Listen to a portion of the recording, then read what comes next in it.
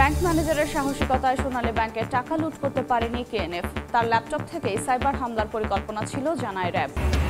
Metro রেলের ভাড়ায় পনেরো শতাংশ ভ্যাট বসানোর সিদ্ধান্ত এখনও হয়নি, জানালেন ওবায়দুল কাদের। জুলাই থেকে আরোপ করা হবে কিনা, প্রধানমন্ত্রীর সঙ্গে আলোচনার পর নেওয়া হবে ব্যবস্থা। রাতে ঢাকায় ঢুকতেও বের হতে দিতে হয় চাঁদা। ট্রাক ও পিক চালকের কাছে আতঙ্ক, চাঁদাবাজরা। রাজধানীর অন্তত পনেরোটি স্পটে আদায় করা হয় টাকা। চোরা কারবারিদের চিনিতে সয়লাভ দেশের বাজার, বছরে রাজস্ব হারাচ্ছে তিন হাজার কোটি টাকা। সরকারি সংস্থার নিরবতা বিপর্যয়ের শঙ্কা অর্থনীতিবিদদের। এবং বাংলাদেশের সঙ্গে বাণিজ্য আরও জোরদার করতে চায় ভারত, নির্বাচনী জনসভায় নরেন্দ্র মোদী। বিরোধীদের পণ্য বয়কটের ডাক দুদেশের সম্পর্কে প্রভাব ফেলবে না বলছে নয়াদিল্লি।